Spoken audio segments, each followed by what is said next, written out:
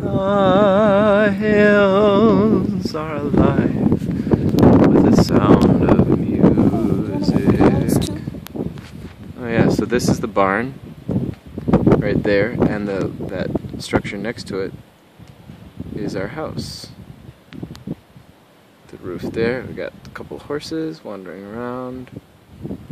Up here on the hillside, got some cows. We could get one of those hares, but too fast.